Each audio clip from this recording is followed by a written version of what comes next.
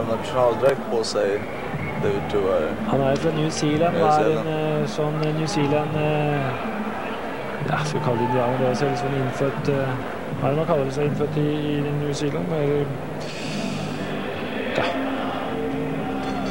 Litt tjukkere enn vanlig. Det betyr ja. Steve Smoger. Introducing first, fighting out of the blue corner. He's wearing black and weighed in at 238 pounds. He comes to us from the Motor City, Detroit, Michigan, with a record of 22 victories, 13 by knockout with five losses. Ladies and gentlemen, here is Eric the Whip Curry.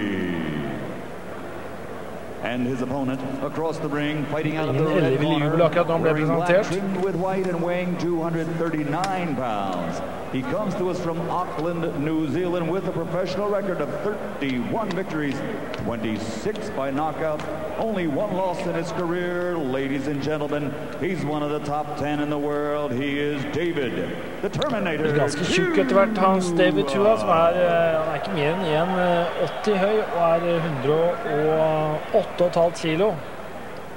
David Tua, da skal vi se rundt midjen så begynner det å ta seg ganske så pent ut. Mye god mat blir det etter hvert. Men nei, det var ikke så verst det allikevel. Han er tjukkere enn andre selvfølgelig. Inte Dua? långa någon av dem. Nei, ja, han skal være 6 for 2, det vil si 1,87. Eh, 1,88 cirka han eh, Dave Smoger er eh, dommer. Jag tyckte de sa att han var bland de tio bästa i Ja, sier, sier Referee så. Steve Smoger Stämmer done with his introductions Sier så, as på Laduva enkelte walks David lister Tua så back to his corner. deler han Tua vel trying to tilbake get ti back on beste. track and keep going Ingen here ever mangler since kanskje. that loss back in June of 97 to Ike Ibiabuchi, 12-round decision loss. And Tony, you know, right off of that, he came back with a nice knockout win over Jeff Lally, but he looked very lackluster in that fight against Jeff Wooden. Has since had two knockouts since then. We'll see if he can make quick work of Eric Curry here. You wonder if he's lost focus a little bit. Ganske but kjapp with, i, an opponent like Curry, Kombinasjonen med David Tua er Curry er på rettene med en gang. og Har ikke tenkt å holde seg så lenge ringen, ser ut som. For han er på full fart he started with nesten ut av ringen. Her kommer He's gonna let him tellingen. He's actually going to give a standing eight count here. Tua caught him with a straight left hook. As I was Stående saying, det är Ja. lite ovanligt. Ja, og så det that reglene sa jo akkurat at det ikke var noe stående åttelling, men han ga seg fort med det. to. Here comes Tua and down Tua goes där Edson. seen Og it så var det. Curry slutt goes etter right back into the det? ropes. Blir 45 sekunder Especially that first av eh, første runde. Det var David Tua som egentlig skulle møtt eh, Razid Hva heter det? Razid Ha- Well, I Haman? Det med den, eh, here. unge fremadstormende Tua improves to 32 tungvekteren, and one. eh, That's his 27th win by way of knockout. som, eh, da ikke gjorde det. Han eh, ville holde seg eller eh, hadde også skrevet på noe med Don King, faktisk.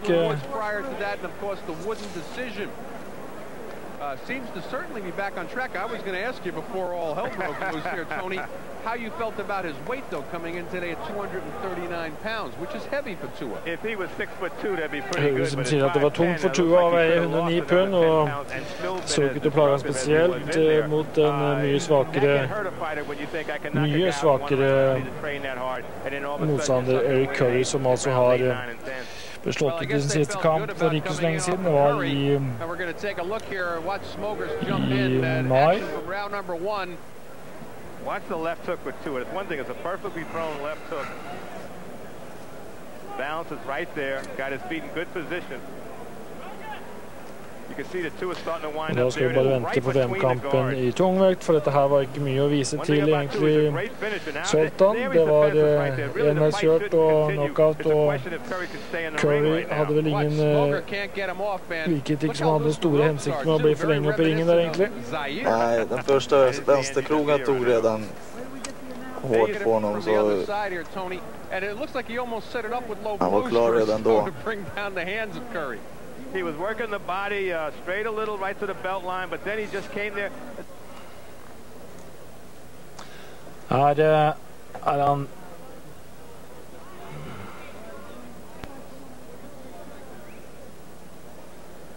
Se hvordan han avslutter hele David Tua. lite Tyson-stil där. Ja.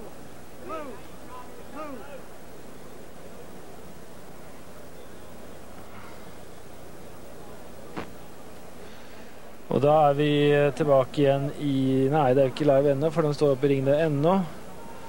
Disse to. Nå er det altså straks klart for VM-matchen i WBC Lennox Lewis Zelgo Mavrovic.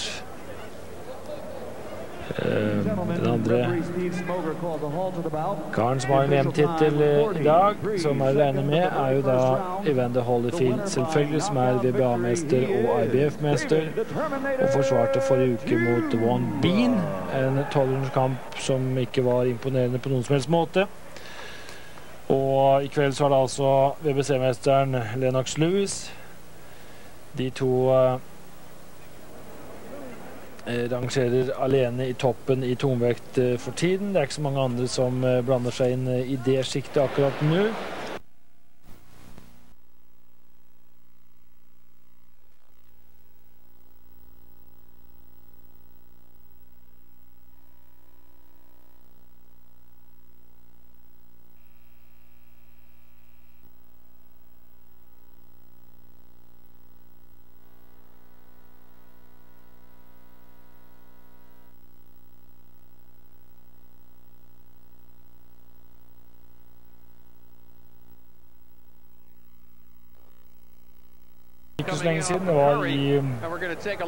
Watch Smokers jump I in. And mai. action from round number one.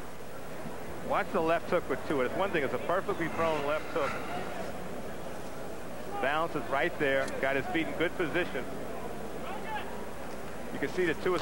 Da skal vi bare vente på VM-kampen i tungvekt, for dette her var ikke mye å vise til egentlig. Sultan, det var, eh, enveiskjørt og knockout, og Curry hadde vel ingen eh, virket ikke som hadde store hensikter med å bli for lenge oppe i ringen der, egentlig. Nei, den første vänsterkrogen tog redan hårt på honom så Han var klar redan då. To bring down the hands of Curry. He was working the body uh, straight a little right to the belt line, but then he just came there. Er, eh, er han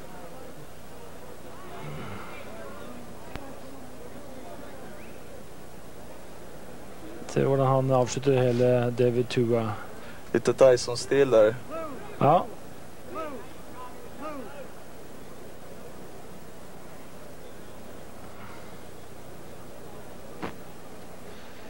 Og da er vi tilbake igjen i Nei, det er jo ikke live ennå, for den står oppe i ringene ennå. Disse to. Nå er det altså straks klart for VM-matchen i WBC Lennox Lewis Zelko Mavrovic. Eh, den andre karen som har en VM-tittel i dag, som er regner med, er jo da Evander Holyfield, selvfølgelig, som er VBA-mester og IBF-mester. Og forsvarte forrige uke mot One Bean, en tolvrunderskamp som ikke var imponerende på noen som helst måte. Og i kveld så er det altså WBC-mesteren Lennox Lewis. De to eh, rangerer alene i toppen i tungvekt eh, for tiden. Det er ikke så mange andre som eh, blander seg inn eh, i det sjiktet akkurat nå.